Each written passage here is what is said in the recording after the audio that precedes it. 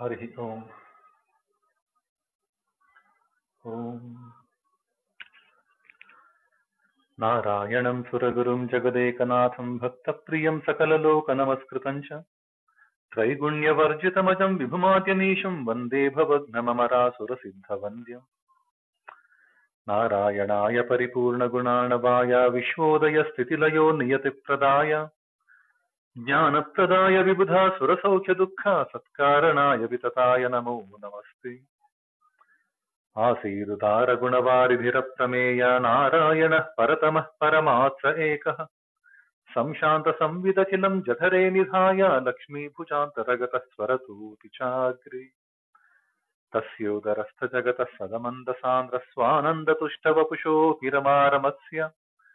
भूत्यै निजाश्रितजनस्य हि सृज्य सृष्टा वीक्षा बभूव परनाम निमेषकान्ते नारायणं नमस्कृत्य नरं चैव नरोत्तमं देवीं सरस्वतीं व्यासं ततो जयमुदीरये महत्त्वाद्भारवत्वाच्च महाभारतमुच्यते निरुक्तमस्य यो वेद सर्वपापैः प्रमुच्यते यदिहासि तदन्यत्र यन्नेहास्ति न कुत्रचित् देवं नारायणं नत्वा सर्वदोषविवर्जितं परिपूर्णं गुरुं शागीतार्थं वक्ष्यामि देशतः लक्ष्मीनारायणं नत्वा पूर्णबोधान् गुरूनपि कुर्मः श्रीकृष्णगीतायाः भाष्यादुक्तार्थसङ्ग्रहम् हरिः Om. Welcome everyone this the weekly ones प्रतिपदार्थ room Uh, we have completed the six chapters so far. We started this somewhere in December last year. And so far, we have completed the six chapters. Uh, plus, we began the journey with the 15th chapter, Purushottama Yoga. The name of the club is inspired from the 15th chapter. Uh, we look at Purushottama Yoga as a uh, key to understanding the entire Bhagavad Gita.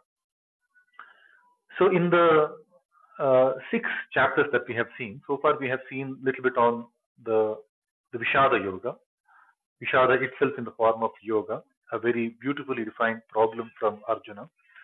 Unlike the same chapter, we see the issues with Duryodhana, but irreparable type of problems from Duryodhana. But Arjuna's case is a little more workable. Uh, he knows whom to surrender to.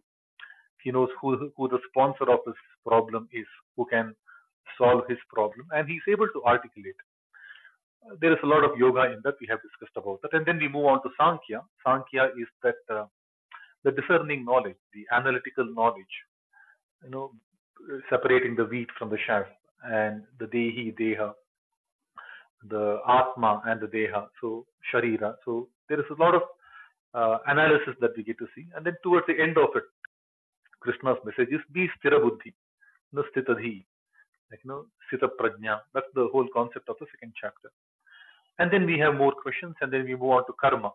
Karma is all about understanding the essence of activity. We are all in action, some or the other action. So long as there is jiva, so long as there is life inside all of us, we are doing some or the other action. That's inevitable. Hence, it's always better to do the ordained action, the vihita karma. Then there is yajnartha karma. Then there is loka sangraha karma. At the end of the day, all of these culminates to swadharma. So keep performing the swadharma, right? But then there are issues. Uh, that is where we are led into the awareness, the jnana, jnana and the karma sannyasa. Uh, basically, the jnana is to help us achieve the karma sannyasa. While we do the action, action is necessary. We also need to renounce from attachments to the results of the action. That's the most important aspect. Uh, otherwise, there are bound to be emotions that will distract us from the path of doing the action. And that is where we are leading to the jnana karma sannyasa, the awareness of what is it that really, really governs everything. That's the jnana. And that should help us achieve the karma sannyasa. And then we have a detailed chapter on the karma sannyasa, sannyasa, right? The fifth chapter, all about uh, giving our uh, material attachments and then kind of keep doing the action. And in that process, three part uh, lecture we saw from Krishna. A, sannyasa is always yoga yukta sannyasa. B, in the karma yoga, and then do the do the karma sannyasa, which is uh, do the selfless act of action. and then do that for the sake of uh, Brahmi Sthiti. The sannyasa is the Brahmi Sthiti. Do it for the sake of the big picture. The Brahmi Sthiti is doing things for the big picture and internalizing that, you know, Brahma Yoga Yukti Sthiti. Now, easier said than done.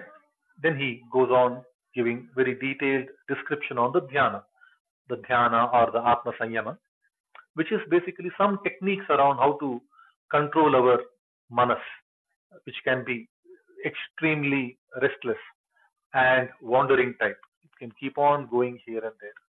So how to bring it back? So we get to see some nice uh, dhyana yoga techniques in the last chapter, the the one that we saw in the sixth chapter, and that will that will stop us. Uh, in many many commentaries, we get to see that the entire Bhagavad Gita can be broken down into three sections.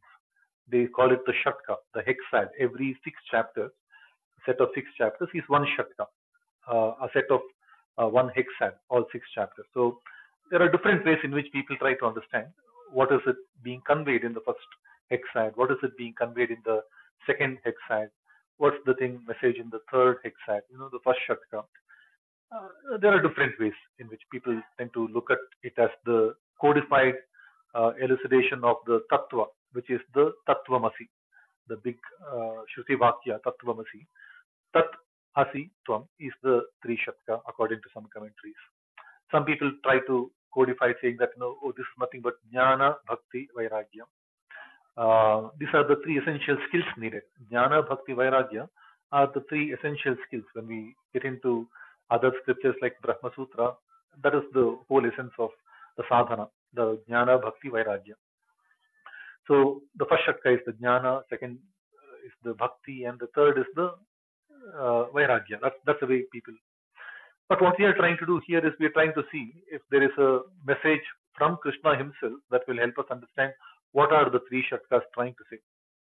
And for us, the clue is the second shloka of the second chapter, where he says, uh, "Oh Arjuna, what you are trying to do right now is anarya jushta aswargya akirtikara. It is unbefitting of an arya, uh, and it is aswargakara. It, it doesn't take you anywhere higher. And akirtikara, it will bring you infamy. When we look at that, perhaps that's a clue.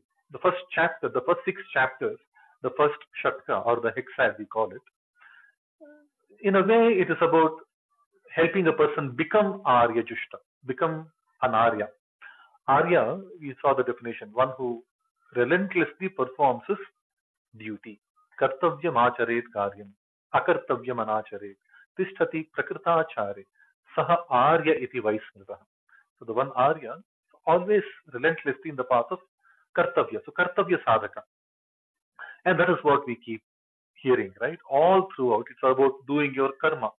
You know, give up the karma attachments of the results, you know, and then develop dhyana to be able to perform that karma. You know, unlock that jnana which also comes. So it's all about kartavya. At the end of the day, keep on doing. And from that point, when we extend the thought, the second chapter, which is where we are right now, the seventh chapter is the beginning of the second chapter or second big fan. It's the path towards Swarga. Swarga is inching higher and higher and higher. Now in Bhagavad Gita later we hear that uh, Meruhu Shikari Namaham. Among the peaks, he is the Meru. And the peak of Meru is Swarga. Right? In one of the Puranas, when you see the stories, when you look at Amarakosha also, Swarga is defined as the peak of Meru. And Meru is the peak of, so the peak, you know, whenever we want to peak, you know, find my peak, like when we, we have this usual uh, idiomatic reference, right? Oh, he's performing in his peak. Know, this batsman in his peak of his career. Know, he's scoring goals in the peak of his career. Like, no, a peak is where they have really achieved their maximum potential, right? So when somebody has unlocked their zenith, unlocked their maximum potential, that's the peak. You peak for each one of us, know, is at a different level. And that different level perhaps comes with how much of prayatna we put, you know, how much of attempt we to put, how much of atma jnana we unlock. And this shatka perhaps is that swargapara, right? taking us higher and higher and higher. Right? And it begins with a chapter that we call as the jnana karma, sorry, jnana vijnana yoga. Right? Jnana vijnana. Whenever we see the word we, uh, upasarga uh, V, it is Vishesh, Visheshta, right? Uh, what kind of a Visheshata? Because Visheshata is basically distinguished jnana. What what is the so much distinguished about that jnana? We will perhaps see that. So this is uh, uh, you know uh, we are now moving into the seventh chapter now after having seen the six chapters. You click on the link provided by Shraddhaji. This is a very useful website put together by Dr. Sampadananda for the Aurobindo uh, ashram Uh, the, the structure is what we primarily uh, bank on from this uh, uh, scripture. So we click on that, we directly move on to shloka number one from the seventh chapter. One second. ॐ मय्यासक्तमनाः पार्थ योगं युञ्जन्मदाश्रयः असंशयं समग्रं मां यथा ज्ञास्यसि तच्छृणु So Bhagavan Uvacha मय्यासक्तमनाः Partha योगं युञ्जन्मदाश्रयः असंशयं समग्रं माँ यथा ज्ञास्यसि तच्छृणु We scroll down a little bit of the web page. We see a section called Padacheda. Basically, all the words are split. It says Bhagavan Uvacha, Shri Bhagavan Uvacha, Mayi Asakta Manaha becomes Mayasakta. There are sandhis, right? Mayi Asakta Manaha Partha Yogam Mat Ashrayaha. Mat Ashrayaha becomes Mad Ashrayaha. Asamshayam Samagram Mam Yatha Jnasyasi Tat Shrunu. Tat Shrunu becomes Tat Shrunu. Right? So there are sandhis. We can pay attention to that and we get familiar with the different sandhi patterns. Now these are the broken down set of words. When we unjumble the words and put them into a proper prose order, that is what we get to see in the section just above called the Anvaya. Anvaya gives us the prose order. It reads like this. Shri Bhagavan Vacha, He Partha, Mayi Asakta Manaha, Mat Ashrayah, Yogam Yunjan, Yatha Samagram Mam Asamshayam Jnasyasi, Tat Shrunu. What does that mean? We check the link on the top called dictionary, right? We click on dictionary. Along the same prose order, we get the word by word meaning. And that is what we can put together. Hey Partha, O Prathasam, O Arjuna, Mayi Asakta Manaha. You know, those who are who are having their asakti in me, who are leaning towards me, who are attached to me, with mind attached to me. Mat Ashraya, you know, who take Ashraya in me. Mat Ashraya is the ones who take Ashraya, basically one who take shelter under me, take refuge under me, with me as the Ashraya. Beautiful. In this website, uh, you know, Dr. Sampadananda refused to give the translation, kept it as non-translatable, which is nice. Yogam Yunjan. No, yogam is to yoga, yunjan, being engaged, being attached. By practicing yoga, right? Yatha samagram mam asamshayam jnasyasi. No, the way they have to know me completely, integrally, samagram. I know samagram is detailed, integrally, completely, asamshayam, without any reminder of doubt. Okay, they have to know. Okay, tat shrunu. Listen to that. Right? Hey Partha, those yogis who are engaged in the practice of yoga by constantly focusing on me and taking refuge under me, right? How they need to know me, the way they have to know me completely and without any modicum of doubt, any iota of doubt, you know, asamshayam. Listen to that. That's what he says. Let's quickly see what Aurobindo translation says.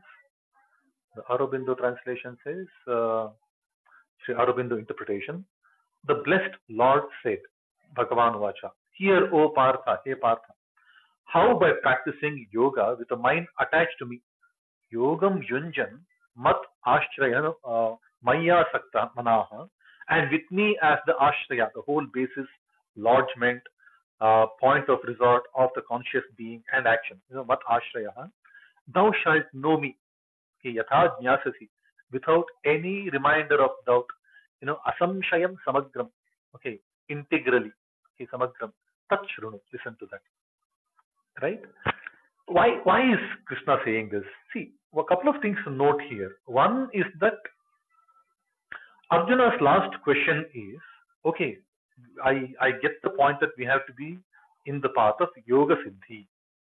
But in the path of Yoga Siddhi, you say I have to be so, so resolute that even if I don't achieve my complete success in the current life, you know, aneka janma samsiddha tato yati param gatim, you said absolutely brilliant, right? I agree.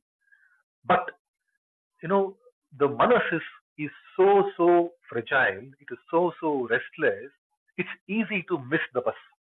You know, ayatish, the, the question is even more fine, right, from Arjuna. Ayatihi shraddhaya upetah.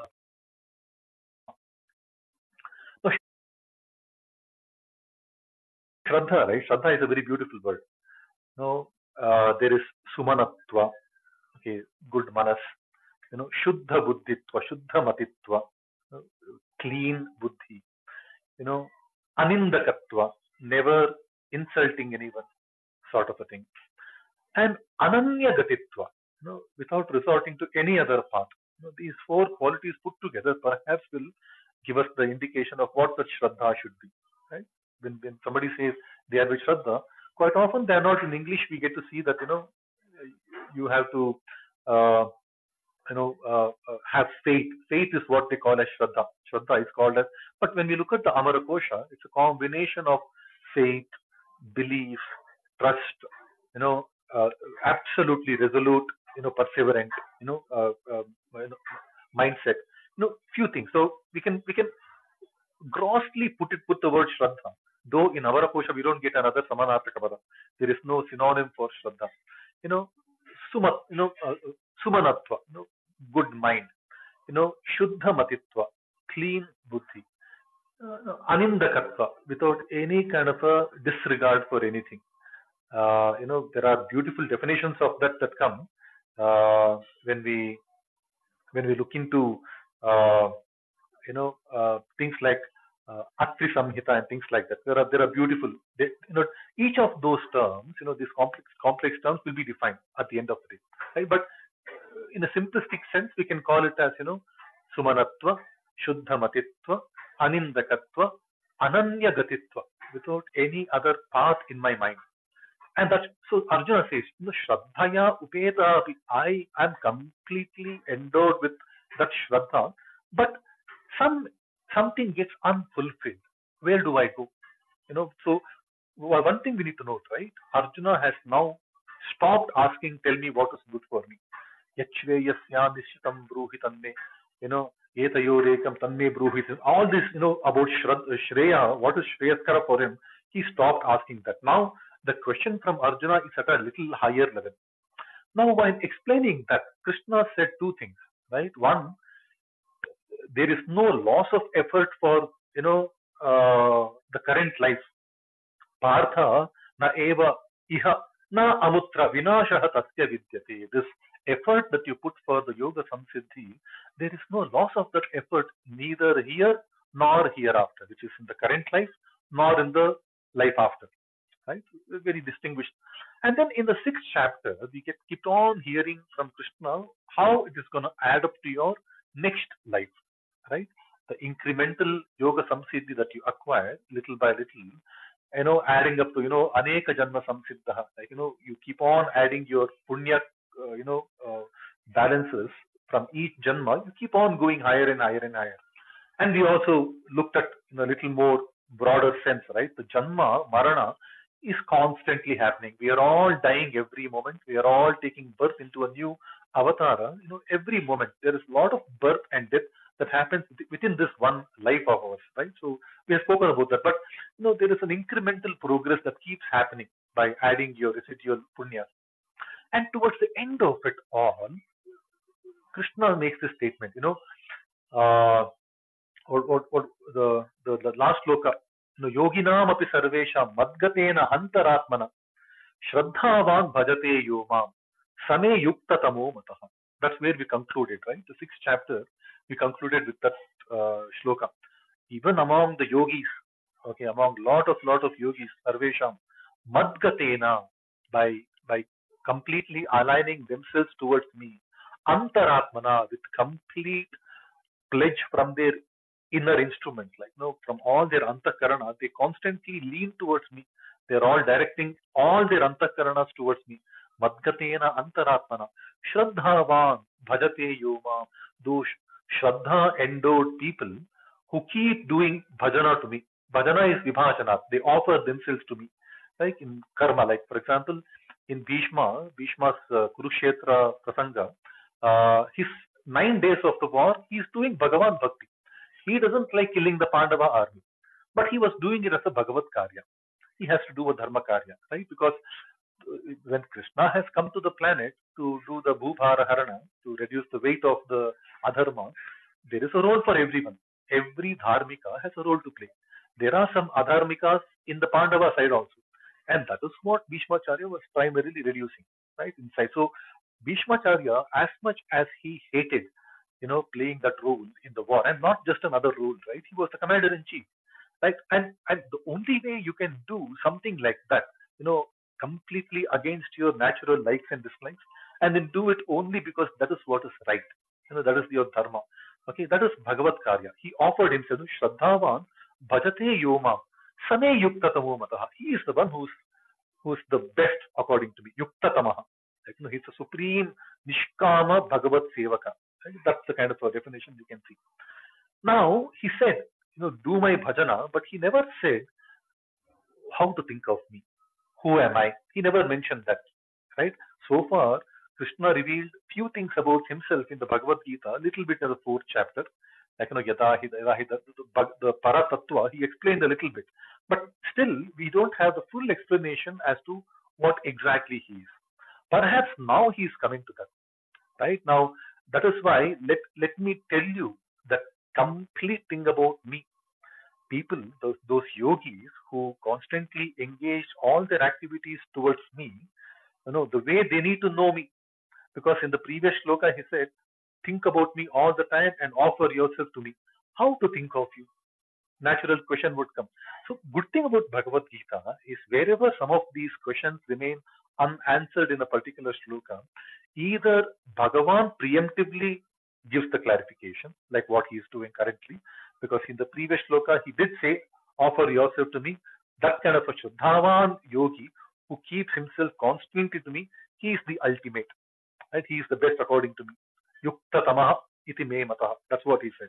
Right? If either he explains that preemptively or Arjuna, now from now on, we will see that from now on, Arjuna does not leave any chance for doubt. Whatever need to be clarified, he will definitely ask that question. If Bhagavan has not preemptively answered it, Arjuna will ask that question. So this is the interesting point about Bhagavad Gita. From now on, over are the times of tell me Krishna what is good to be you know, done by me. What is it that's good for me? We are done with that. Now we are getting into a higher and higher level. You know, being Arya Jushta, being that absolute Kartavya Sadhaka. I mean, not hearing the story, but you know, internalizing some of the techniques that are being taught until the sixth chapter. From now on, once we become Kartavya Sadhakas, then it's all about going higher and higher and higher. Aruruksho munehe yogam karma karanam. That's what we heard in the beginning of the. So the yoga samsiddhi is a continuous present state. It keeps on going forward and forward, right? So, so Krishna is now answering Mahi asakta manaha, those who are interested in me, who are you know, leaning towards me. Mat ashrayaha, you know, who are taking refuge under me. Yogam yunjan yatha mam jnasyasi. You know, the way they need to know me while they do the yoga yukta, you know, acts, right? Samagram asamshayam tat shrunu. Know, know that from me in complete integrated manner, in a complete manner, without leaving any iota of doubt. Now, this is another interesting term. Asamshayan samagram. Does it mean to say that a bhakta will know everything about Bhagavan? So many, many Bhashyakaras say this Asamshayam and the Samagram, they both are applicable to the Bhagavan. Right? No, from his point of view, he is telling it without any iota of doubt. And he is telling it completely. We can only catch little. Or whatever little we can catch, we will catch. And we will see that later because some of the messages that's going to come in the next few shlokas will be repeated quite. Right? So that's basically, so it's a continuation to the sixth chapter where we ended the sixth chapter, the same thing has been taken forward by Bhagavan that, you know, know me. Now let me tell you more about me. So I think from now we will hear more about him. Right. So we that we move on to the next shloka. On the top of the page, we see a link, uh, hyperlink called next. We click on that. We go to the second shloka of the seventh chapter. ज्ञानं तेऽहं सविज्ञानमिदं वक्ष्याम्यशेषतः यज्ञात्मा नेह भूयोन्यज्ञातव्यमवशिष्य ज्ञानम तेहम सविज्ञानम इदम वक्ष्याम यज्ञात्वा नेह भूयोन्यज्ञातव्यम अवशिष्यते you पदच्छेद scroll down a little ते अहम ते अहम बिकम्स तेहम सविज्ञानम इदम वक्ष्यामि अशेषतः। वक्ष्यामि अशेषतः बिकम्स वक्ष्याम यशेषतः। सो यण संधि देयर इज़ संधि यत् ज्ञात्वा यत् ज्ञात्वा लाइक मत आश्रय, मदाश्रयः सिमिलर यत् ज्ञात्वा यत् ज्ञात्वा। न इह नेह, न इह बिकम्स नेह लाइक महाईश महेश सिमिलरली न इह नेह। भूयः अन्यत् भूयो अन्यत् दशनदर संधि अन्यत् ज्ञातव्यम्, अन्यज्ञातव्यम्। avashishyate. These are the words that we get.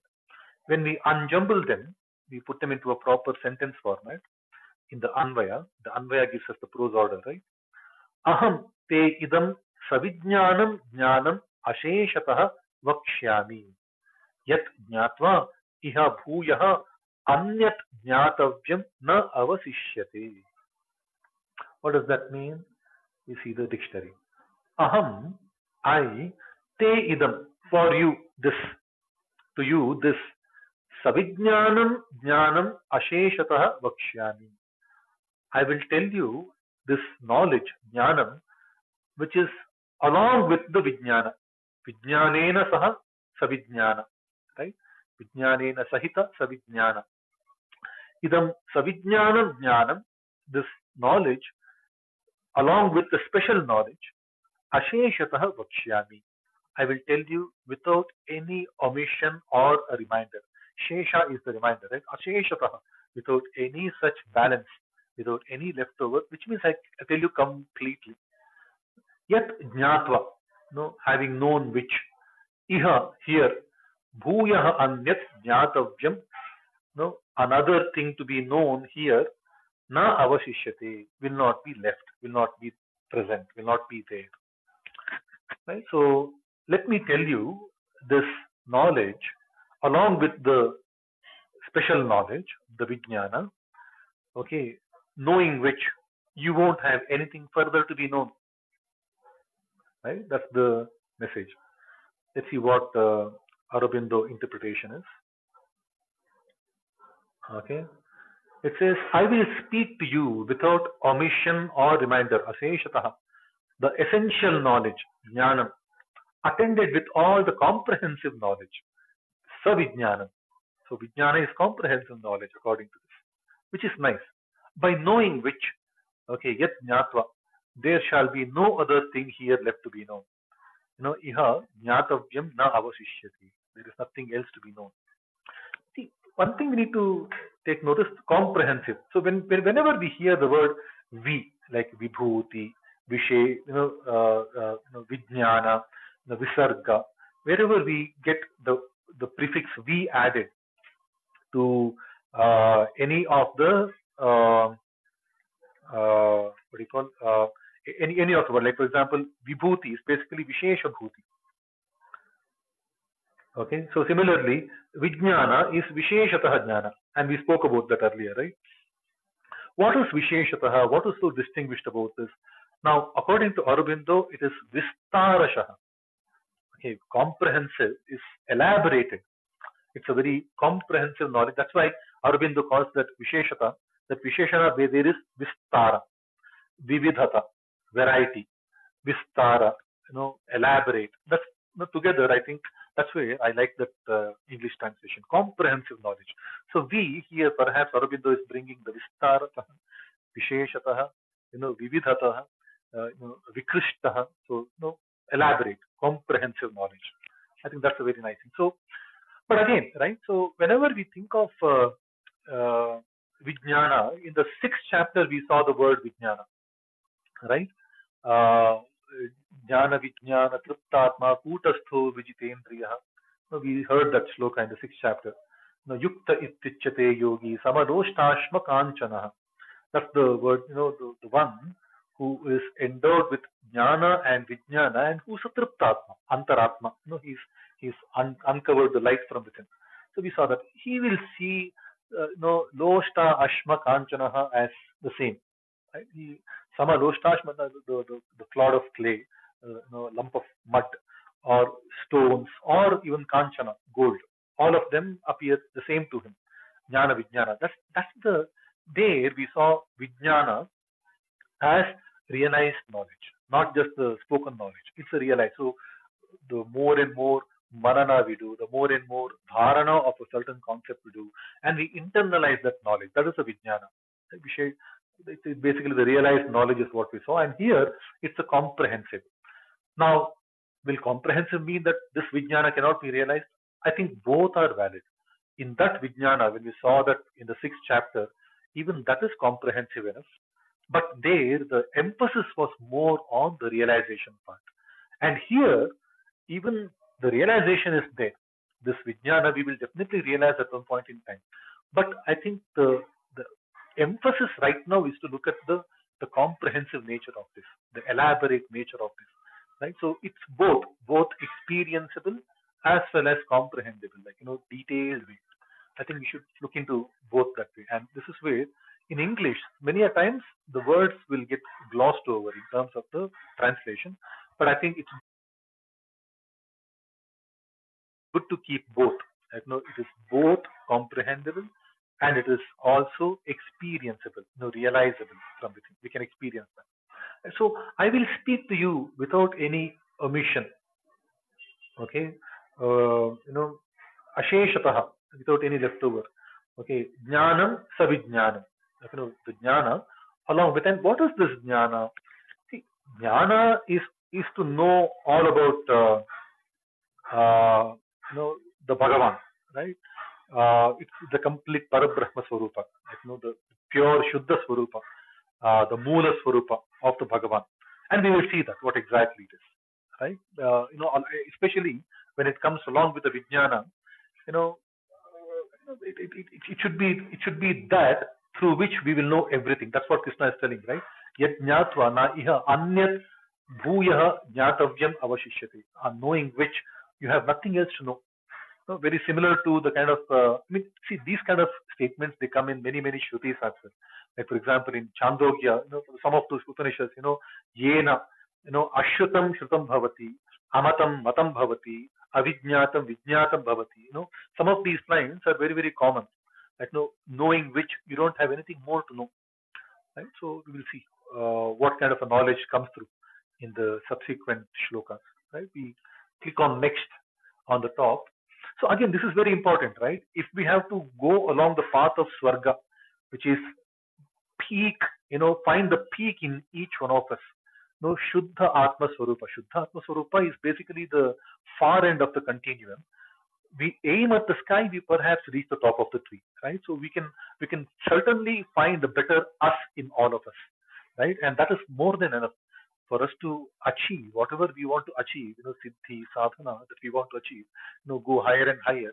You know, reaching the top of the tree is always a, you know, people will take it, right? Without without any sweat, people will take that if that is the end outcome. So, after explaining the benefits of this yoga siddhi in the next slide, that is what we saw towards the end of the sixth chapter. Perhaps this shatka is all about helping us realize how we can be extremely amazing achievers within this current life. Because na iha vinashaha tasya vidyate. There is no loss of that effort of yoga samsiddhi in this current life. And that is the path towards understanding the vibhuti in all of us. While it is the vibhuti of the Bhagavan, we can see that Bhagavan's vibhuti in each one of us. Right? So we are led into the path of vibhuti. And the path of vibhuti begins by understanding the vijnana. Right? You can't have vibhuti, the vishesha bhuti cannot happen without knowing the vishesha jnana. I think that is what we are led into. And knowing which you don't have anything further to know. Right? Now, is this interpretation right? Okay, I think perhaps because when we look into the third sloka, that's what gives me an indication. Let's see what the third sloka says, right? On the top of the screen, we see the next. Uh, Manusyanam sahasreshu kaschid yatati siddhaye yatataamapi siddhanam kaschin maam vetti tatvatah. Manusyanam sahasreshu kaschid yatati siddhaye yatataamapi siddhanam kaschin maam vetti tatvatah. I like this shloka. I like every shloka in Bhagavad Gita where we see the word tattva, tattvataha. Because uh, whenever we see them, I, I make I make special note of those shlokas. You know, in the second second chapter we have so every chapter, chapter after chapter, Krishna put the emphasis on tattvataha. Know this by the tattva. Don't just take this as a as a gospel truth. Like just because Bhagavan is telling something, you can't just blindly accept it. Know that through the tattva, put your buddhi, apply your buddhi and, and look at the reality of it. That's what exactly he means. Whenever he brings the word tattvataha, you know, sitas chalati tattvataha in the sixth chapter, you know, the fifth chapter also he says, you know, naiva kinchit karomiti yukto manyeta tattvavit. When you know the tattva, now you will see that, you know, you don't do anything at all. No- None of your actions are your action. No, guna guneshu vartanta iti matva. Uh, you know, So, is at karma cha me divyam evam yo veti tattvataha. So tattvataha is very second chapter he says that, you know, uh, nasato vidyate bhavo na bhavo vidyate satah ubhayorapi drishtontastvanayos tattvadarshibhi. So he brings in the concept of tattva, know them by tattva, understand it through the tattva, understand it according to the way the tattva darshakas, tattva darshanakaras, they have elaborated this entire truth, right? You don't just take the gospel truth. Now let's see what this, this is an interesting shloka, right? The seventh chapter, the third one, beautiful expression of tattva. Manushyanam sahasreshu kaschid yatati siddhaye yatatam api siddhanam kaschin mam veti tattvataha. What does the padacheda give us? Manushyanam sahasreshu kaschit yatati kaschid yatati. One sandhi. Siddhaye yatatam api siddhanam kaschit mam becomes kaschin mam veti tattvataha. Only two sandhis. But yeah, we get these uh, words, right? The uh, the broken down padacheda words. We unjumble them. We put them into the proper prose order in the anvaya, right? Manushyanam sahasreshu kaschid siddhaye yatati. Yatatam siddhanam api kaschit mam tattvataha vetti. It's simple. The anvaya is pretty much in line with the shloka. But what does that mean? Sahasreshu manushyanam kaschit siddhaye yatati. Among thousands of the people, let's click on the dictionary, right? Sahasreshu manushyanam, among thousands of men, kaschit siddhaye yatati. Very few here and there. You know, they strive for the sake of siddhi. Siddhi has been called as perfection. Very nice. It's a beautiful word. Right? Siddhanam yatatam api. No, even among the and among the ones who are striving for siddhi, or who are in the path of you know, among, among those striving siddhis, okay, among those people who are striving for siddhi, no, kaschin mam tatvatah viti. Very few here and there know me absolutely by the tattva. Tattva is the elemental truth, right? When we break down the what we see, what we grasp, what we understand, when we break down, you know, break them down to into elemental truth, uh, you know, that's what we see as tattva. Tattva darshan, tattva, sankhya, tattva darshana, sankhya darshana. They're all interchangeably. They quite often they come in the same basket, right? In the uh, in the, in the pedagogy when we see the course content, you know, in any of the Vedanta schools and things like that. All of these terms are perhaps used in the same context, right? What he's telling is that among thousands of people who strive for siddhi, what is siddhi?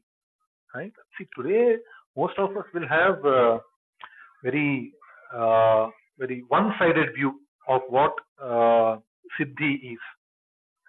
Right? Uh, uh, Adi Shankara Bhagavad gives a very good definition in his uh, Bhashya. You know, Siddha eva hite ye mokshaya yatante. It's a very beautiful definition. Siddha need not be the one who has achieved the end goal. No, even if you are striving for that moksha, you are a siddhi. No, Siddha eva hite. They indeed alone, they verily are Siddhas. Okay, ye moksha. Those who strive for moksha. Again, what is moksha? So far we have heard one instance of moksha being spoken by Krishna. Right? In the fourth chapter he says, no, यज्ञात्वा मोक्ष से अशुभात। Our mukti is only from ashubha. What is ashubha? Anything that is ill feeling bad feeling right so far we can take into that I think we will get more definition as we go further and further into this Bhagavad Gita but no anything ill feeling but you can say no the bondage of the samsara the samsara bandhan that the अशुभत्व moksha from the ashubha we hear that किम कर्म किम अकर्म इति कवय अभी मोहिता Tatte karma pravakshami yajnatva mokshase ashubhat. When when detailing the nivritti karma in the fourth chapter, Krishna says that, you know. So what what Adi Shankara you know, Bhagavad Pada says is, you know, those indeed are siddhas, okay, who are striving for the moksha. That's one definition. When we look into Amara Kosha, Amara Kosha gives us a very beautiful, you know, Samanarthaka pada for Siddha, Siddha, Siddhi. Siddha, Siddhi is Lakshmi, Prakriti, right?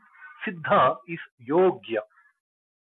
Okay, in English, when we look into Monier Williams or Apte kind of dictionaries, suitableness, you know, in in uh, in quality engineering, we define quality. Quality as fitness to use, right? It is a, it is fit to be used. Like yogya, yogya is capability. Is it capable enough? Is it is it right for me to use? So kacche ko pakka karo wo siddhi hai. Like no, you you make something raw into a usable format. That is siddhi, right? I I I am I'm a very raw guy, raw person. I do some studies and I like for example NTTF some diploma I do. I learn some basic skills around plumbing or electrician's job or things like that. Then I'm siddhi. I'm ready. This word, even colloquially, especially when in Kannada, Telugu, like Siddha Padisu. Siddha Padisu is get them ready. Right? Siddha doesn't mean that make him a make him a levitating person. Uh, Siddha need not be somebody who levitates. I mean, that's the that's a small myopic understanding we carry. But Siddha is somebody who's ready. Right? Ready for what? Ready for yoga. Okay, ready for the capable application of his skills. Okay, so there are many, many thousands of people who strive for that siddhi, that perfection. That's a beautiful word here. That perfection is a very beautiful. I mean, siddhi is perfection. Perfection is a very textbookish. As I said earlier, you aim at the skies, you might reach the top of the tree. Right? So siddhi. I mean, we might become the levitators also. We might even do time travel. We might do, you know, shape shifting. We might do many things. Like you know, we keep hearing those mystic stories from the monks of the Himalayas and all. We don't know what it is. Go to Uttarakashi, Rishikesh. We can perhaps see some of these stories, but not all can become that. I think the message for all of us is for us the siddhi is become suitable in what we want to become. A suitable husband, suitable father, suitable employee, suitable boss, you know, suitable son, suitable you know grandson, suitable neighbor, suitable member in the society, suitable citizen. No, it can be applied. Every one of this instance is a, is that siddhi. It, it's not easy. It's not automatically available. It's not given. We have to strive to become that. So, among thousands of people, very few aspire to become siddhis from that point of view. Actually, you know, very few look at striving perfection. And among those striving siddhis, yatatamapi siddhanam, kaschin mam veti, only few know me tattvataha by the actual tattva. See, when we look at the tattva, the Paramatma tattva comes right at the top, the tattva tree when we see, right? Pancha Mahabhuta, the core base, then the Pancha Tanmatras, little above. These are all at the physical realm. The Pancha Jnanendriyas, Pancha Karmendriyas, the 20. On top of them comes the Manas, the 21st. And then, you know, uh, Buddhi, Ahankara, Chitta, Pradhana, whatever, Mahat. Know, we see those 24 tattvas. 25th is sometimes called the Purusha. And Paramatma is the 26th. That's the typical Vaishnava tattva tree. Right? The, the different tattva trees will elucidate the same things in different granularity. Like if you look into the tattva tree given by the Shakteya school, it might you know list down some 36 different elemental truth. Right? The Shak, the Shaiva tree uh, tattva, you know, can look at 33 different tattvas. There are different. So here, I mean, for a simplistic purpose, we look at the Vaishnava tree because it's very similar to what uh, the Purva Mimamsa, you know, the school of thought also puts down, right? So Purusha, and on top of Purusha comes the uh, Paramatma. Now, Paramatma, we need to understand, right? Purusha, along with the Prakriti, is what gives us life. And then that orderliness of this life is the Paramatma, the one who's doing the Niyamaka, governing everything. Which means if somebody has to taste success, it cannot happen without the Paramatma Amsha coming into play. Right? The the same mango can be spoiled, can be amazingly tasty. Without the Paramatma Amsha coming into play, the Purusha does help the life to transform, metamorphosize, and things like that. The Purusha Prakriti coming together, we will see the physical state of that being. But for that ultimate siddhi to happen within the mango, the Paramatma has to come. And when we understand the Tattva, that's how the Tattva works. And what Krishna is telling is, there are many, many people, okay, in this planet, very few even aspire to become siddhis. And among the many siddhis, very few understand me through the tattva because now he's about to explain to her, explain. See, this is very beautiful. I mean, when I look more and more into the shloka, it's very difficult for us to list down the success in our life. Now, I have asked many, many people, can you list down 10 successes that you have achieved in your life? People can't.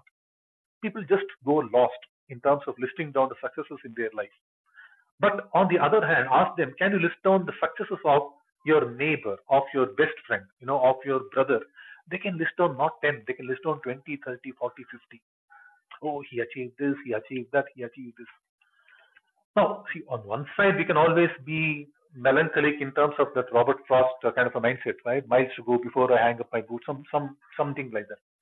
But I think deep, fundamentally deep within, there is a disregard for that gratitude. See, today there is a lot of uh, push happening, a lot of uh, uh, encouragement happening, suggestions happening. People are advising people to maintain journals, especially the gratitude journals. It's a big uh, activity, right? Because it's difficult for us to list down what all good things happened in our life, right? Uh, we we tend to be so so entitled in life. In, in two shlokas, uh, two chapters ago, we spoke about this, right? You know, uh, yehi samsparshaja bhogaha dukkha yonaya evati. All the things that come into contact, okay, all the pleasure that are born out of contact with external material are dukkha yonaya. And the reason why they become dukkha yonaya because the minute I acquire something, I feel entitled to that attachment, right? I, I never had a footwear in my life.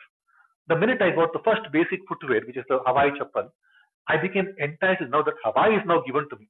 Now, if I want to happy, if I want to remain happy, I need something bigger. So the, the, the happiness that comes through the physical contacts are short-lived, not just short-lived. They become dukkha yonaya. They will make you go sad very soon. They are the foundation of your sorrow. Primarily because we tend to attach that entitlement. Okay, this is mine. And siddhi perhaps is that when we when we struggle to list down the successes, I'm sure all of us can attempt this. We can't. Okay. Now, if we are able to list down the successes, okay, I attained success in this instance. Okay. Uh, I, like, for example, if this simple thing, like, you know, this Bhagavad Gita Pratipadartha session, if I can list it down as a successful event, perhaps, perhaps I am one step closer to understanding the Bhagavad Prerana around me. None of these things will happen without Bhagavad Prerana know, if you guys think that you know, there is something nice being spoken here, that will not happen without Bhagavad Prerana.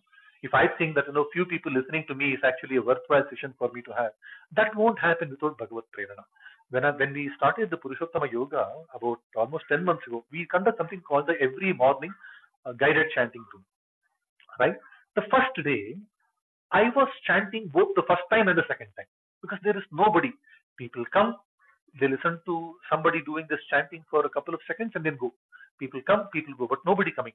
No, Shraddhaji, who's now the moderator, right? she's one of the first people to who came. In fact, the second person, the second person who came up on stage, and then remained. Since then, she's been chanting, right? This is about last year August, something like that. Yeah? So almost 10, 11 months ago, we started this. Now, uh, prayatna from our side, the prayatna should happen, but if we call now that room has been going on from the from the day we started, right? It's been going on every day. Now, who has to take credit for the success of it? It won't happen without Bhagavat Prerana. Right? If, if, if the Bhagavan didn't want that to happen, it won't happen. Now, hey, how do we realize that Bhagavan has been in our life? First and foremost thing, can we at least recognize we achieved some sort of success somewhere?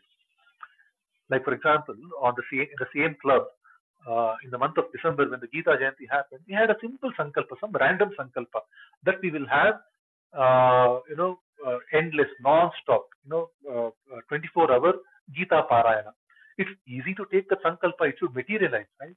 Different, you know, cogs should fall in place. Different parts of the jigsaw should fall in place. That will not happen without Bhagavad Prerana. So, before even we realize the Bhagavan has been in our life, I think the first thing is can we even recognize that we have had this siddhi?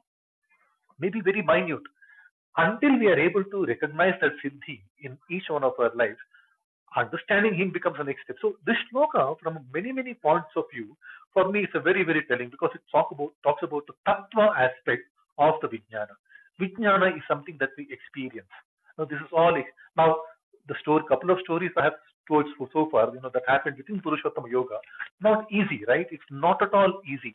You know, looking at random set of people coming and holding this entire event together, you know, and making sure that the event does not stop at all like no different days. Sudhaji, who's now in the audience, you know, she comes and picks up when the day suddenly one person has volunteered to lead us in a chapter, you know, that person doesn't turn up, and Sudhaji is leading. You know, Ramesh Mahodaya has led us in so many different instances.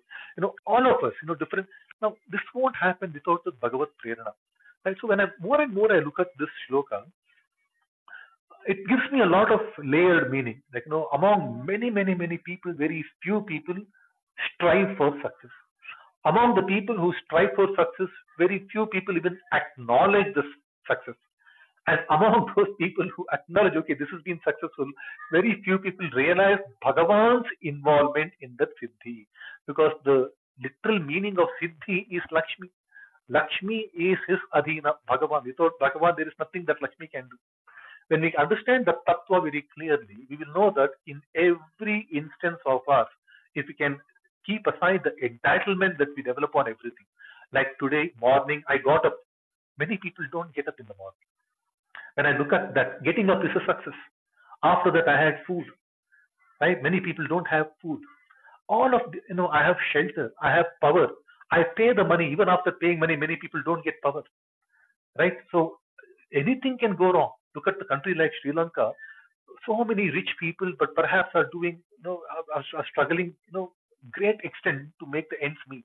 They have wealth, you know, immovable wealth, and things like that, right? So many, many instances we might keep on attributing a lot of things to a lot of things, but we fail to realize that, you know, Bhagavan has been around us, tattvataha. That's so when we say vijnana, this you know, comprehensible knowledge, also realizable knowledge, I think we need to keep ourselves open, okay, to look at the receptors, and we will we will hear more from Bhagavan himself that we will hear more from Bhagavan himself, you know, how differently to think about him. So we quickly see what uh, Aurobindo interpretation says for this shloka. O Arjuna, among thousands of men, one here and there strives, strives after perfection. And of those who strive and attain to perfection, one here and there knows me in all the principles of my existence. Very beautiful. Right. Let's click next we go to the fourth shloka. Tattva, right? Tattva, Sankhya. He elaborates now. The shloka reads like this. Bhumirapo nalo vayu kammano buddhirev cha ahankara iti yamme भिन्ना प्रकृतिरष्टधा भूमिरापो नलो वायु खम मनो बुद्धिरेव च अहंकार इति भिन्ना प्रकृतिरष्टधा you see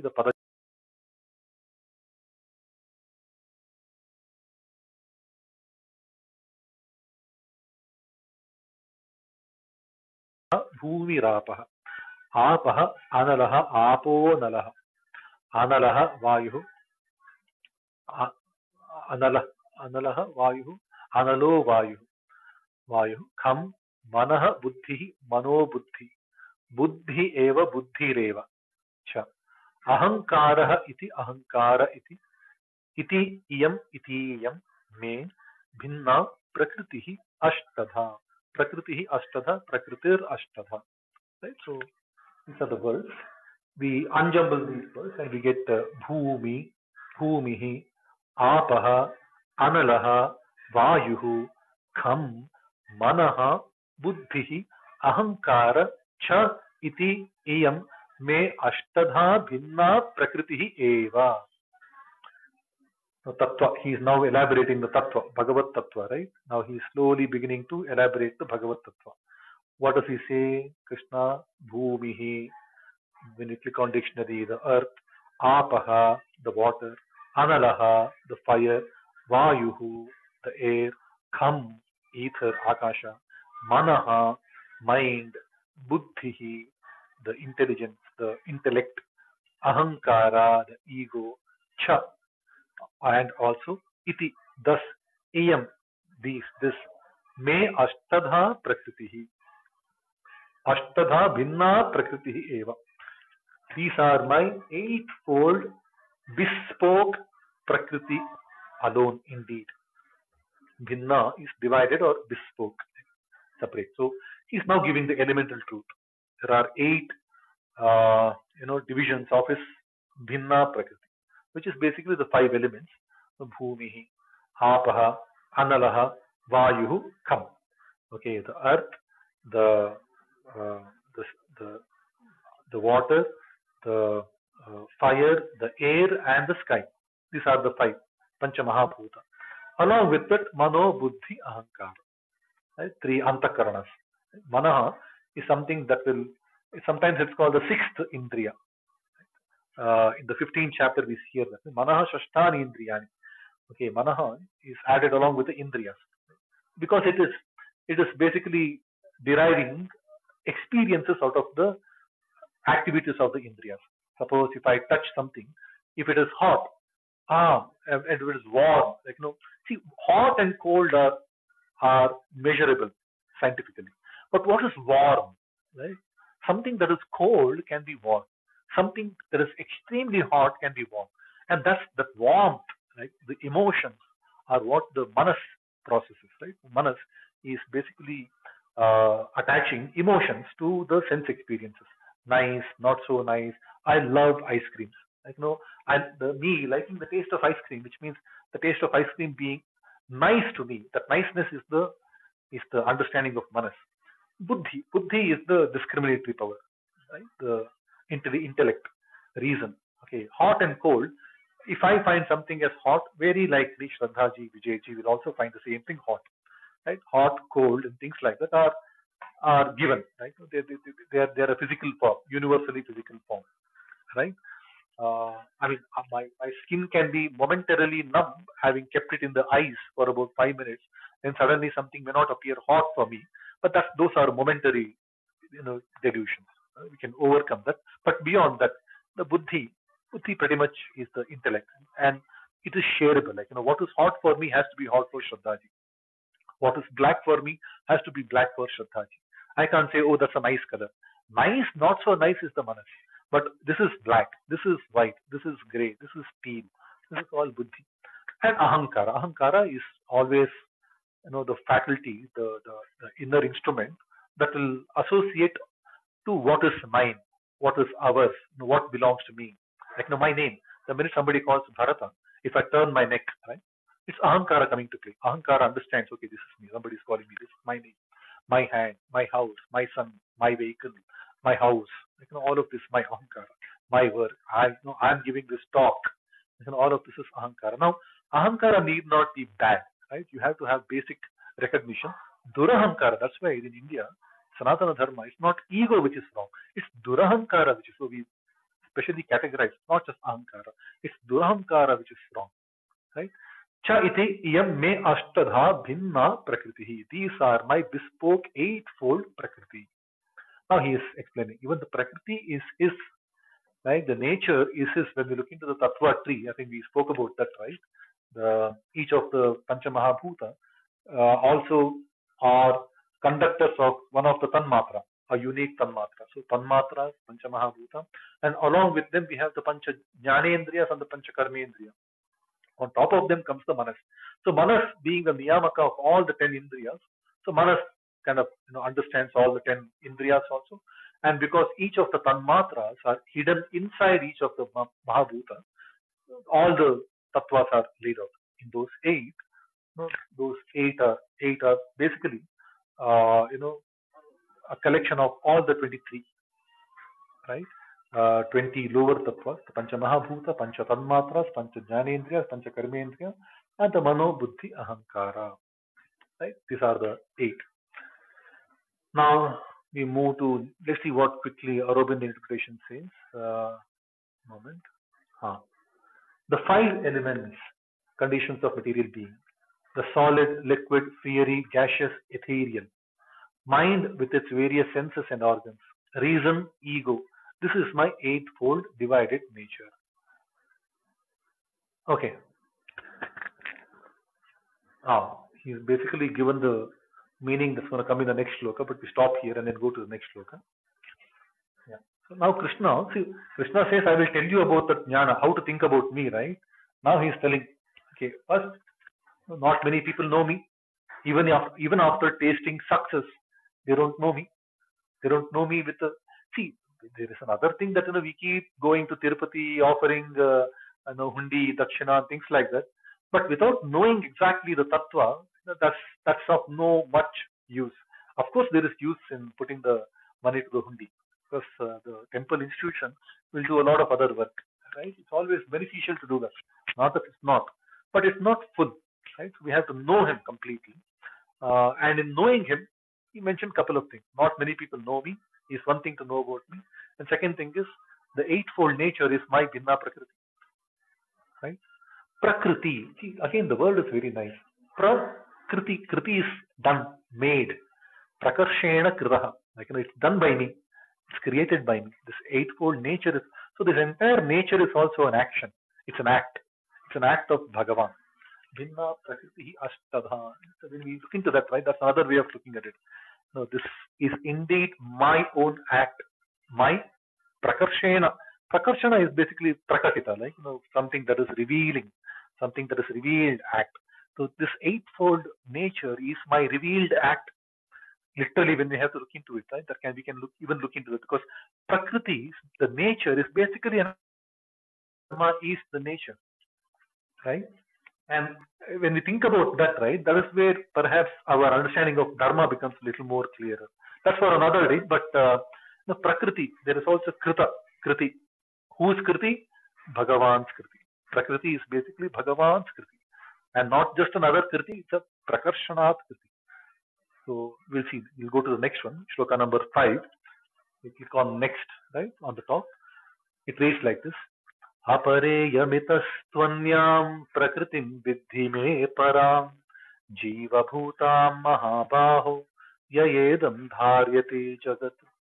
अपरेयमितस्त्वन्यां प्रकृतिं विद्धि मे परां, जीवभूतां महाबाहो, ययेदं धार्यते जगत्। When we see the padacheda apara iyam apareyam apara iyam itah tu अन्याम। यम इतः तु इतस्तु। इतस्तु अन्याम, इतस्त्वन्याम। A few couple of sandhis there. प्रकृतिं मे परां जीवभूतां महाबाहो यया इदं ययेदं धार्यति जनति। Right? But the पदच्छेद when we हे महाबाहो तु अपरा इत ओके, अन्यान जीवभूतान मे पराम प्रकृति विद्धि। यजा इदम जगत भार्यते हे महाबाहो इयम तु अपरा। इयम this right so will see the dictionary हे महाबाहो, ओ महाबाहो नो महाबाहो, whenever we hear the word महाबाहो, it is basically krishna instilling the sense of responsibility on arjuna हे महाबाहो ओ arjuna iyam tu apara iyam is missing in this iyam this is apara this is the lower Right? What is this? This is the eightfold, what we heard in the fourth sloka. This eightfold Prakriti is apara Prakriti. Itaha anyam jiva bhuta me param vidhi.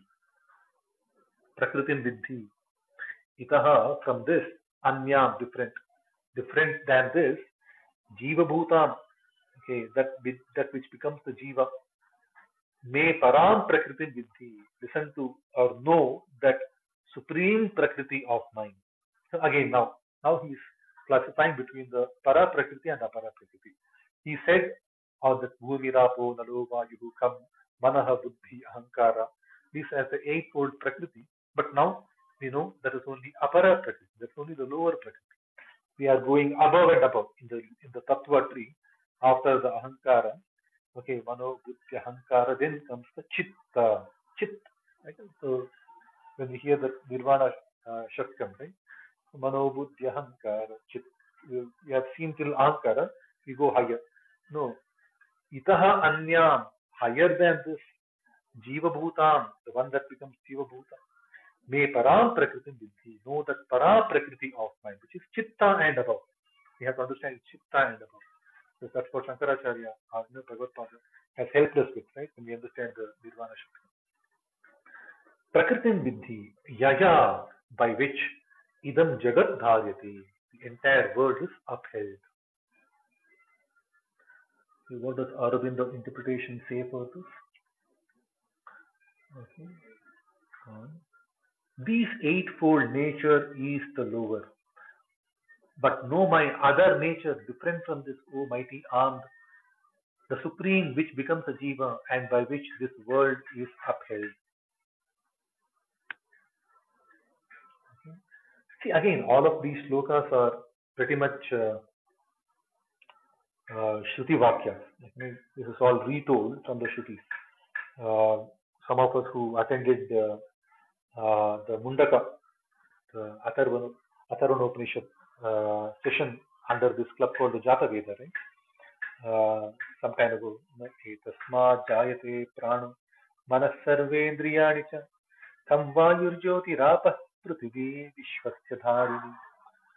Uh, we saw that in the you know, Mundaka. Most of these words, you know, they keep repeating in many, many different aspects. So whenever Krishna says something like this, uh, you know, one thing that we need to be very firm in the understanding is that most of these are Shruti Vakyas. They have been repeated quite often in many, many different Upanishads and things like that. Okay, so uh, yeah, apara. So these eightfold nature is the lower.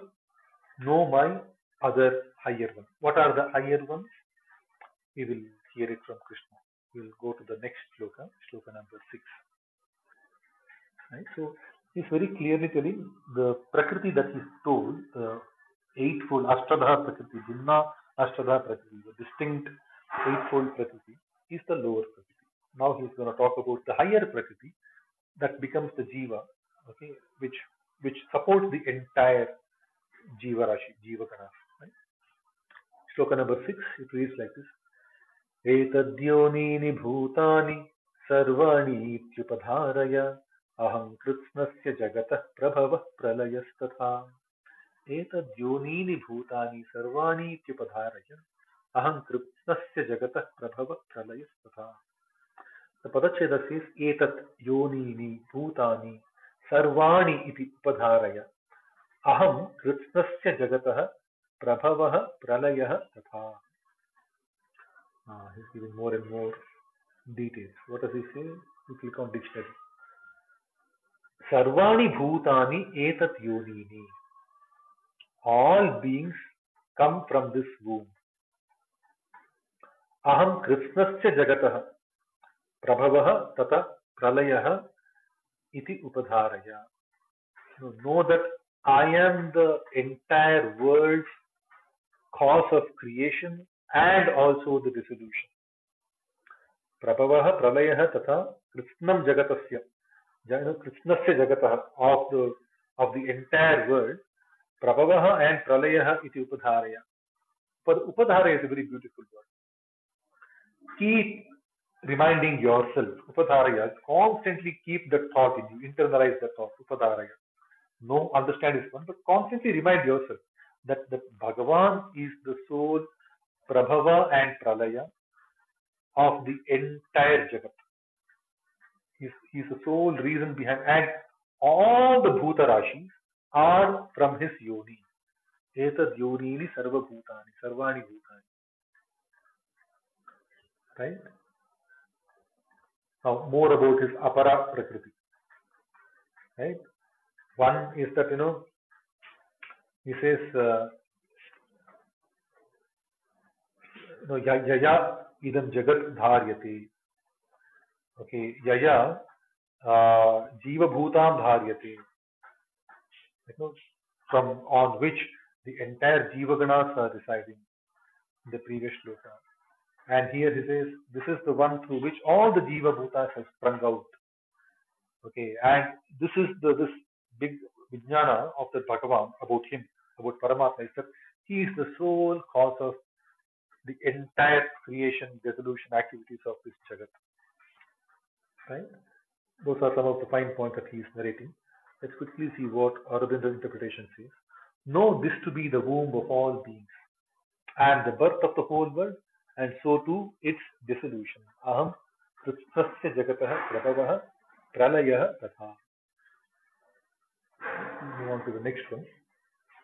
Sloka number 7 of this chapter. मत्तः परतरं नान्यत् किञ्चिदस्ति धनञ्जय मयि सर्वमिदं प्रोतं सूत्रे मणिगणा इव Okay, so this is beautiful, right? Seventh shloka of the seventh chapter. And seven is a beautiful number for us. Uh, 700 shlokas of Bhagavad Gita, right? Sapta Shati, we call it. Uh, at the end of it all, only seven people survived. You know, the five Pandavas, Draupadi and Krishna. Right? So seven, seven is a very uh, beautiful number for us. Seven in seven, the seventh one in seven, is one of the best shlokas. I think it's the biggest uh, uh, statement made by Bhagavan. Let's see what Padacheda says. Mattaha parataram na anyat kinchit asti dhananjaya. Mattaha parataram na anyat becomes na, na anyat. Kinchit asti kinchit asti. Mai sarvam idam protam sutre मणिगणा इव मणिगणा इव कृत इव। भक्त परतरम किंचित अस्ति धनंजय मणि सर्वम प्रोतम सूत्रे मणिगणा हे धनंजय मत् परतर अन्य न अस्ति। इदं सूत्रे मणिगणा इव मयि प्रोतम। Very big uh, statement. This is uh, very interesting. Let's see what it means. Hey Dhananjaya, oh the one who wins a lot of war. So when we win the war, we get the spoils of the war. Spoils of the war, dhana, wealth. Right? So we, we get money uh, by winning war, right? As a Kshatriya. And Arjuna is known to win a lot of war. He always wins, right? Mattah parataram anyat kinchit na asti. Beyond me, there is no other supreme. मत् परतर अंचित न अस्ति। Not a single thing exist which is beyond me a supreme it is no nothing superior than me basically सूत्रे मणिगणाः इव just like the beads you know in the okay इव मयि इदं सर्वं प्रोतम् all these which is living being जीवभूतान् all the living beings, right? The uh, sarva bhutani, sarvani bhutani, right? That's what we heard in the previous sloka. Idam sarvam sut, sutre maniganaha iva protam. All the jiva bhutas are hanging on to me or threaded onto me, just like how the beads are threaded into the thread, the string. Right? This is a very beautiful shloka. Let's quickly see what Aurobindo interpretation says. We click back on shloka. There is nothing else supreme, beyond me. Mattaha parataram anyat kinchit na asti. There is nothing else supreme beyond me. O Dhananjaya, hey Dhananjaya. Me, all that is here. Okay. Idam sarvam. Okay.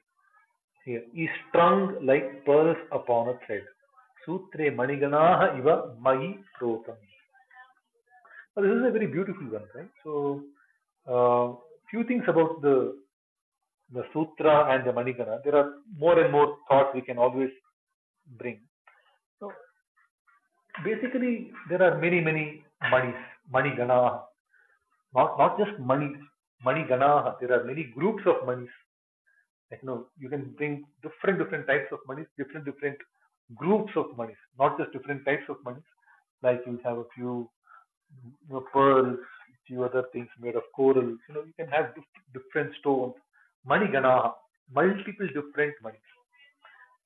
They are all strung into a thread, made into a nice garland. Right?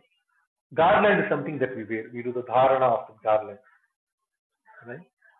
And when we see the garland, we see the money. We don't see the thread. Right? And the thread is not attached to the money. The thread never becomes one with the money. The thread will never never obstruct the money. When you look into it more and more, right? And a small cut off from the thread, all the money ganas will fall, just fall. The minute they detach themselves from the thread, they just go for a toss. Right? So when we when we look into this simile, see Bhagavad Gita is loaded with amazing, amazing similes. And this is another very beautiful one. Right? So you can look at Bhagavanta as the Sarva Vyapta Nirlipta. He's there behind all of us but not seen. Antah Pravishtam Kartarametam. So, so this is a very beautiful example. Right? So and and very importantly, he's made that very telling uh, declaration. There is nothing beyond me. Right? We are not equal to him. We will never become equal to him. Okay? And there is nothing above him. Okay? So let's see. He, he, he will not he will not just talk here, right? He's going to give us a little more elaboration about it. We will see the next one. But this is a very beautiful one. Sutre Manigana Iva it shows the the comprehensive knowledge that we spoke about right at the beginning the, the second shloka you know the vijnana basically uh, vistara jnana you know, vistuta jnana you know, vikrishta jnana you know vividhataya jnana you know, vishishta jnana look into that right? Uh, let's move on to the next one. When we on top of the page we click on next right? Om रसोऽहमप्सु कौन्तेय प्रभास्मि शशिसूर्ययोः प्रणवः सर्ववेदेषु, शब्दः खे पौरुषं ऋषु। रसोऽहमप्सु कौन्तेय, प्रभास्मि शशिसूर्ययोः प्रणवः सर्ववेदेषु, शब्दः खे पौरुषं Rishu पदच्छेदस्य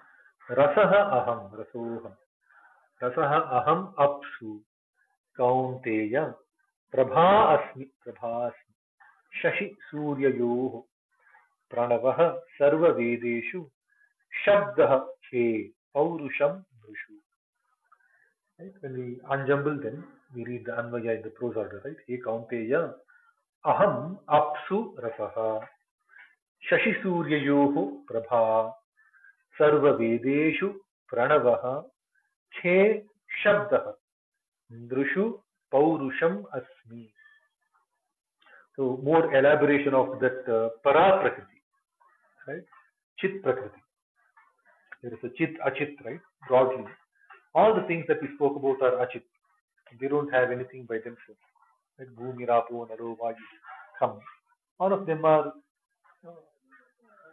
they are all transient they're all jada prakriti, right? They're all apara prakriti. Now he's explaining more. Kaunteya, hey Kunti Putra. We click on dictionary, right? Hey Kaunteya, hey Kunti Putra Arjun.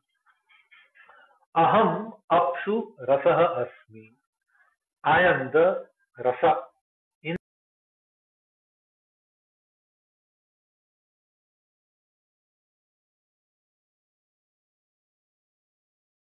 in the water. Apsu in the waters. Am the rasa. Shashi Suryayoho Prabha Asmi. In the sun and the moon, I am the Prabha. Right? I am the light. Okay. Sarva Vedeshu Pranavaha Asmi. In all the Vedas, I am the Pranava. Pranava is the Omkara. Aham Ke Shabda Asmi. I am the Shabda in the Akasha. And Nrishu Paurusham Asmi. And among men, in men, I am the Paurusha. Paurusha is the, is the energy, right, through which we accomplish many of our uh, life uh, objectives, right? We need to have the Paurusha. So I am that Paurusha in all the men. In people, Paurusha, basically in people. Paurusha is the is the is the energy with which uh, we show perseverance, we put any prayatna. If we have to put any prayatna in anything, we need to have that Paurusha. Right? So basically, Krishna is now explaining his apara prakriti he's done. Now he's explaining his para prakriti more and more. He is the rasa in the water. Right? The water, water is, so when we look into it literally, doesn't mean much. But apsu, right, the liquid state of matter, the key tanmatra, the key experience, the unique experience of the liquid form is the rasa. Uh, when we say you know, the Pancha Mahabhuta as uh, you know Bhumi, Rapo, Naro, Vayu come, the respective tanmatras are you know Gandha, Rasa, Rupa, Shabda, Sparsha.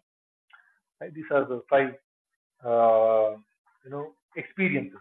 In in Bhumi we have the Gandha, the smell. In Apa, Apu, Apaha, Apus, we have the Rasa, Gandha Rasa. In the Anala, Bhumirapo, Analaha, Analaha is the Jyoti. There we have the Rupa, Gandha Rasa, Rupa. And then in the Vayu, we have the Sparsha, touch. And in the Akasha, we have the Shabda. Right? So he is, so basically he's telling, I am that experience in the water. Right? I am the taste that gets conducted in the water. Basically, we have to say tanmatra, the experiences in the material body. I am that experience that you see in the apsu. But careful to note, even the apsu is his prakriti, is his bhinna ashtadha, but apara prakriti. So the apu, the water is also part of him. In that, the rasa is him. Shashi Suryayoho Prabha Asmi. Okay, Shashi Surya, Analaha, they're all fire, right? They're all fire, they're all light. I am that Prabha, I am that radiance.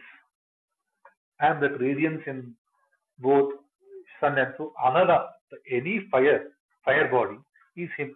Even the Shashi Surya are part of his para, no, apara prakriti. They are all part of the material manifestation. But the radiance in them, the radiance that they emit, is his para is him.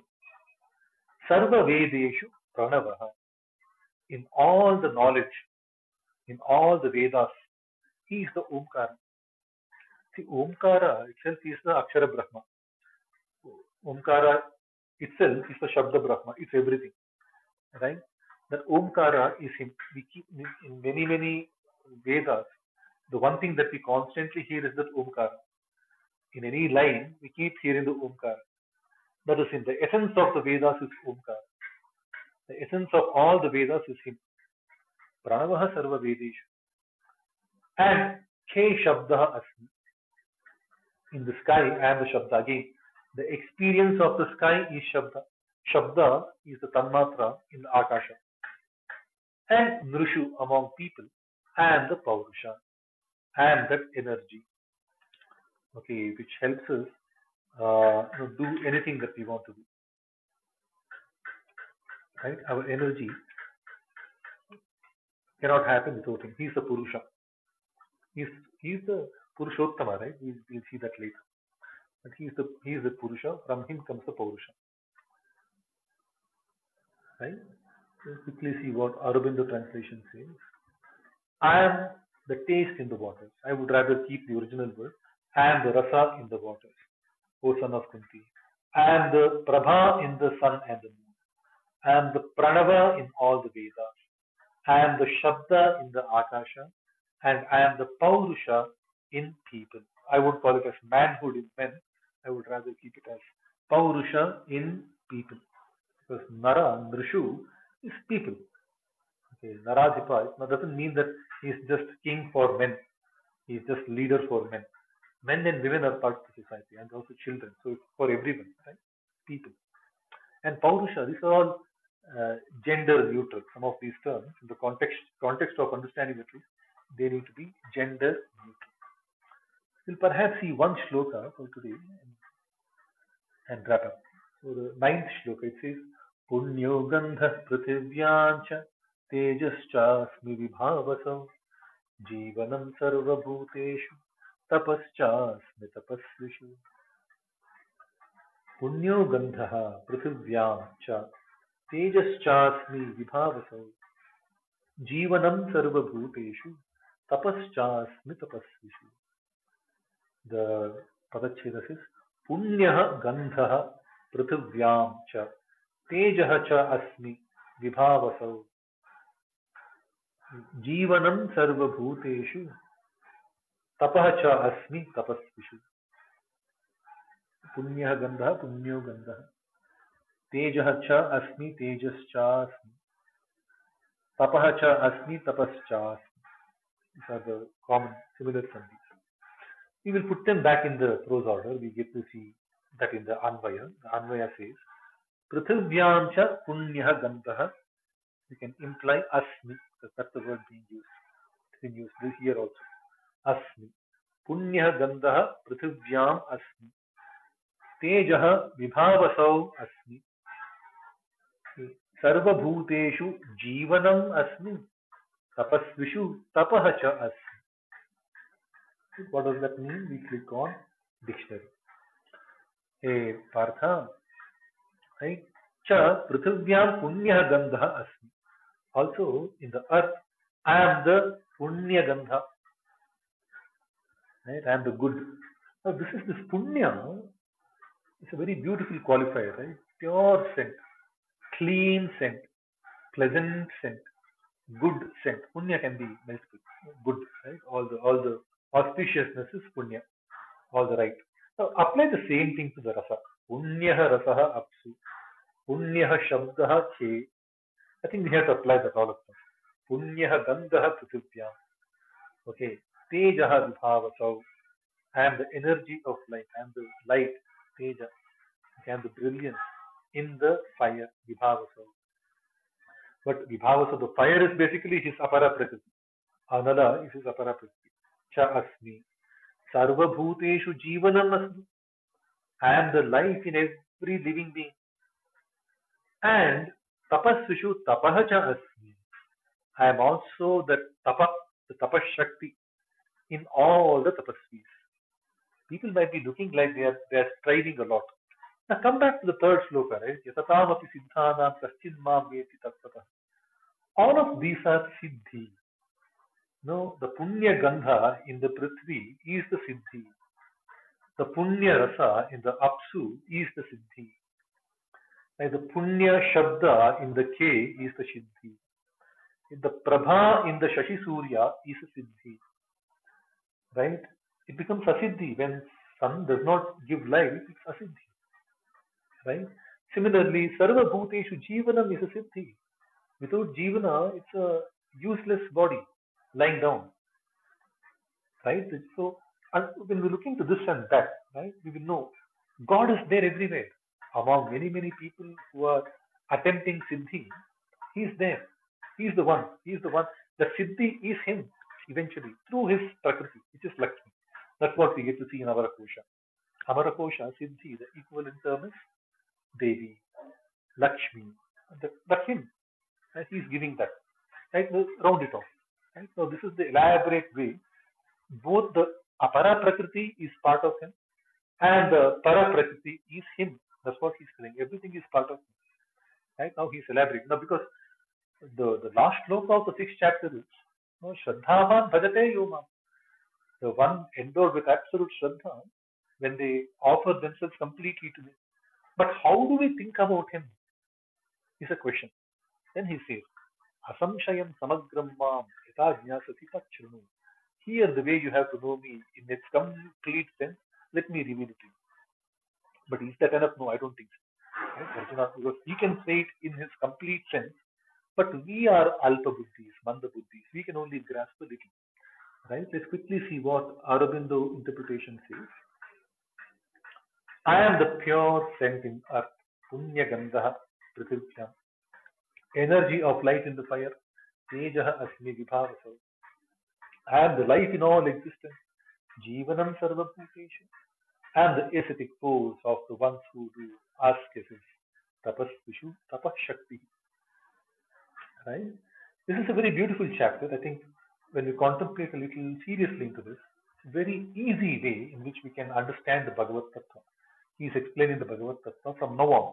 Right? The next three, three, three, four chapters, we see a beautiful account of the Bhagavad Tattva being presented to us by Bhagavan. Right? So these are very, and that, that is essential for us. Once we understand the Bhagavan's Purna Swarupa, the Vibhuti Swarupa, then we know that we are all his own Amsha. There is a little bit of that Amsha we can see within all of us also. And that is what will propel us to the path of greatness. Because once we become Kartavya Sadhaka, no time to hang up the boots, right? We keep on burning the gas pedal, you know, in the, the same intensity, with the sole purpose of reaching higher and higher and higher. Otherwise, we might end up becoming like Ravana. The Rama Ravana Vityasa is very, very thin line. So that brings us to the conclusion of today's uh, reading of the meaning. Very beautiful chapter. There is no Arjuna Uvacha. Pure 30 shlokas of Bhagavan Uvacha. Very beautiful meaning here. Before we conclude, uh, people are welcome to come up on stage and share your views. What we do here is a very sincere attempt to understand the word by word breakdown of Bhagavad Gita shlokas, trying to get a very clean understanding of the shloka tatparya. Uh, we do a couple of things under this Purushottama Yoga Club for Bhagavad Gita. One is the everyday chanting that we do from morning 6 o'clock. We chant about 100 shlokas every morning. Let's uh, meet again. We'll resume with shloka number 10 of the 7th chapter uh, next Saturday. The reverse count of 3, let's conclude the room. 3, 2, 1. नमस्ते वासुदेवाय श्रेयसा मे प्रियोत्तम। समस्तगुणसम्पूर्णा निर्दोषानन्ददायिने। मूकोऽपि यत्प्रसादेन मुकुन्दशयनायते। राजराजायते रिक्तो राघवेन्द्रं तमाश्रये। Have a beautiful Sunday people and have a beautiful week ahead जय श्री कृष्ण जय श्री कृष्ण जय श्री